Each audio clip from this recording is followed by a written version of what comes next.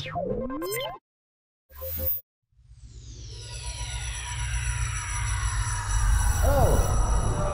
I'm Steve, that is me, um, and I want to talk very briefly, uh, obviously, um, about better mobile testing, but in the sense of reaching more people, okay?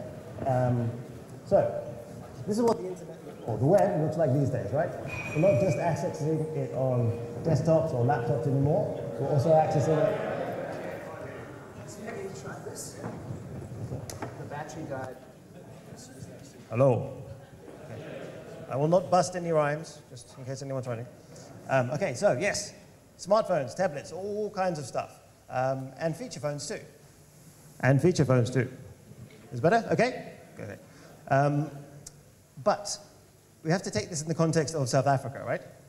So it depends on where you get your stats and when you'll get your stats. But we're talking something like two thirds of the people in South Africa only access the web using some kind of mobile device. They, these, some of these people don't have desktop computers. Okay?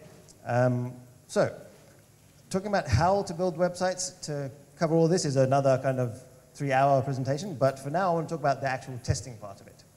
So, there are various ways once you've built your site to test it and to fix it and to fiddle with it and this kind of thing, but as far as I'm concerned, the best way, hands down, is to get hands on and to test on actual devices. Poke it with my fat finger rather than messing with emulators on desktop machines.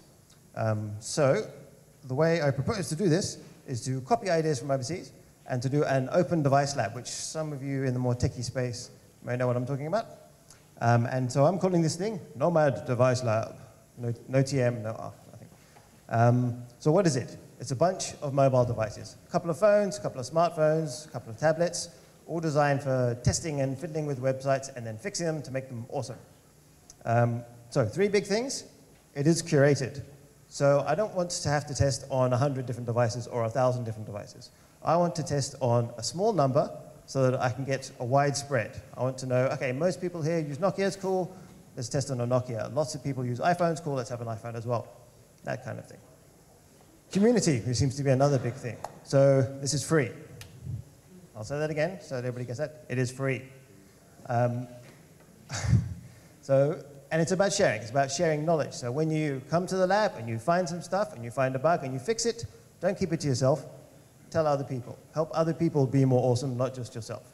Um, traveling, it's bouncing around. I work for myself from home. Uh, you can't come to my house and use the devices. So we must go somewhere.